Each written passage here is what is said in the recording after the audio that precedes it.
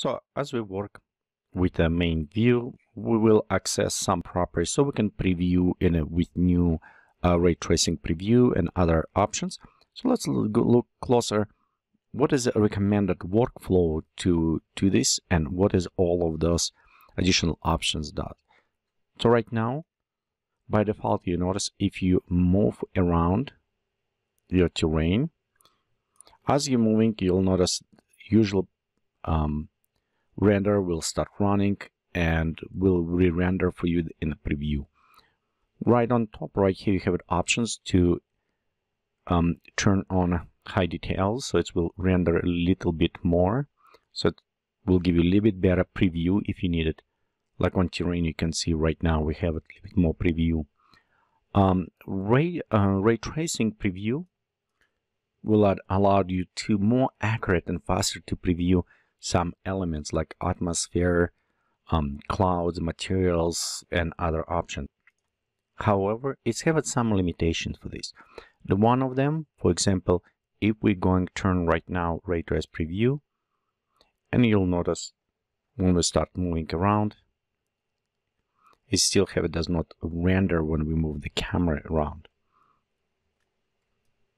So you'll need almost like turn it off, turn it on, and do this way. So to preview, what you want to do, it is go enable your normal uh, generation if you want high details or not. Okay, be sure you press pause on this case for your render. Otherwise, um, it's have some instability issues. And at this point, we can enable and we also can enable um, preview of the materials, atmosphere, lighting if we have any. Okay, so right here we have the render. Notice one thing, so let me go and check all of this.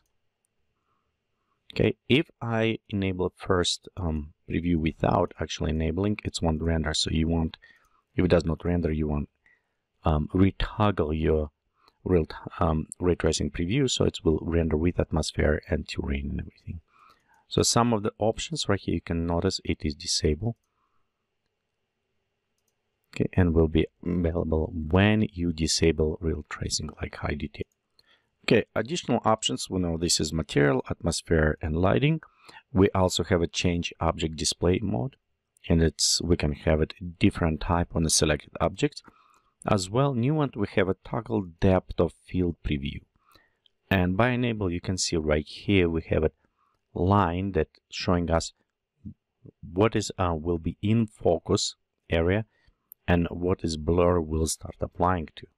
And of course, this is all related to um, camera, position of the camera.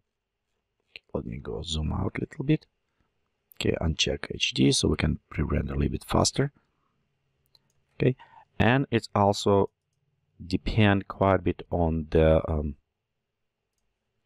actually it's in the camera on the focal length remember if we have a telephoto our depth of field will be much shallow so that will affect as well as aperture as well so it's additional options and we'll look on some of those options in our other tutorial about depth of field, but overall the preview will let you know where is the blur will start applying.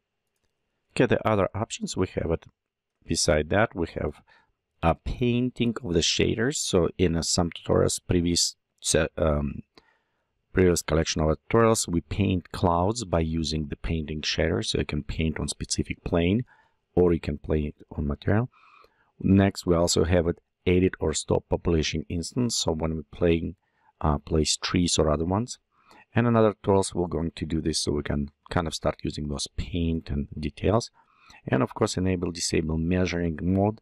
That is very useful when you need no um, distance. And I used actually this one quite a bit when I needed from camera measure, for example, how far away some object and I want to use a depth of field.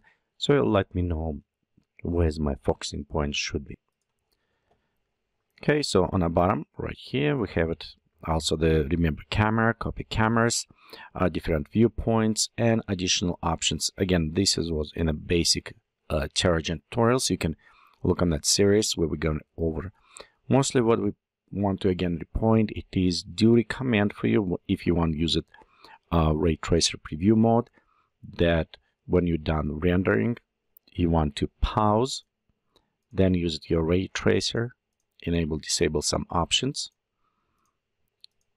So we can you know what I mean? So you can preview them. And when you're done enable and pause and then you can move so you can see it will re-render and they can use it uh, ray tracer preview again